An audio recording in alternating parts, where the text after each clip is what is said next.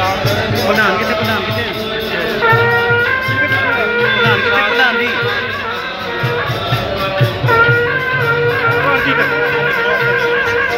ਯਾਰ ਇਹ ਕਰ ਦਿਓ ਪੁੱਛੋ ਪੁੱਛੋ।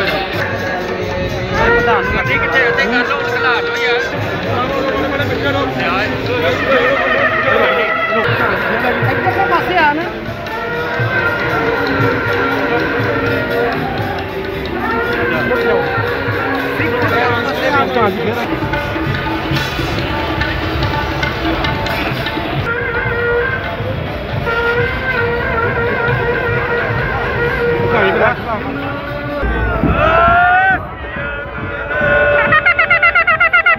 ਪੰਜਮ ਪਾਤਸ਼ਾਹ ਸਾਹਿਬ ਸ੍ਰੀ ਗੁਰੂ ਅਰਜਨ ਦੇਵ ਪਾਤਸ਼ਾਹ ਜੀ ਦੀ ਪਵਿੱਤਰ ਸ਼ਹਾਦਤ ਤੋਂ ਬਾਅਦ ਧੰਨ ਧੰਨ ਸਾਹਿਬ ਸ੍ਰੀ ਗੁਰੂ ਹਰਗੋਬਿੰਦ ਸਾਹਿਬ ਮਹਾਰਾਜ ਜੀ ਨੇ ਇਹ ਇੱਕ ਨਵੀਂ ਫਿਰਤ ਖਾਲਸਾ ਪੰਥ ਮੀਰੀ ਦਾ ਪੀਰੀ ਦੀ ਪਾਈ ਔਰ ਸਤਿਗੁਰੂ ਜੀ ਨੇ ਜੰਗਾਂ ਜੁੱਧਾਂ ਵੀ ਸਾਰੀਆਂ ਲੜੀਆਂ ਤੇ ਸਾਰਿਆਂ ਵਿੱਚ ਸਤਿਗੁਰੂ ਜੀ ਨੇ ਫਤਿਹ ਵੀ ਪ੍ਰਾਪਤ ਕੀਤੀ। ਇਹ ਜਿਹੜਾ ਅੱਜ ਦਾ ਮਹਾਨ ਨਗਰ ਕੀਰਤਨ ਆ ਤੇ ਕਿਲਾ ਲੋਹਗੜ੍ਹ ਵਿਖੇ ਜਾ ਕੇ ਦੀ ਸਮਾਪਤੀ ਹੋਣੀ।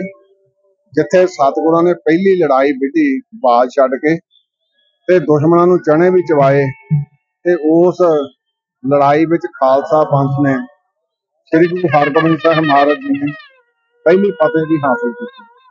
ਸੋ ਹਰ ਸਾਲ ਦੀ ਤਰ੍ਹਾਂ ਇਸ ਮਹਾਨ ਪਵਿੱਤਰ ਸਥਾਨ, ਧੰਨ ਧੰਨ ਬਾਬਾ ਦੀਪ ਸਿੰਘ ਜੀ ਦੇ ਪਵਿੱਤਰ ਸਥਾਨ ਗੁਰਦੁਆਰਾ ਸ਼ਹੀਦਗੰਜ ਤੋਂ ਇਹ ਹਰ ਸਾਲ ਨਗਰ ਕੀਰਤਨ ਪ੍ਰਾਰੰਭ ਹੁੰਦਾ, ਜਿਹੜਾ ਵੱਖ-ਵੱਖ ਮਹੱਲਿਆਂ ਦੇ ਵਿੱਚ, ਸ਼ਹਿਰ ਦੇ ਵਿੱਚ ਹੁੰਦਾ ਹੋਇਆ, ਸ਼ਾਮ ਨੂੰ ਜਾ ਕੇ ਦੀ ਸਮਾਪਤੀ ਹੋਣੀ ਆ।